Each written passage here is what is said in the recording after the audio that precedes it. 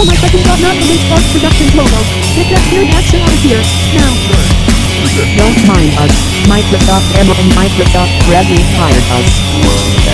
Tommy escaped is eating bologna sandwiches anyway. You should take them well. But you want to die, right, love? That's totally not true. Everyone knows that my brother eats bologna sandwiches and I'm paying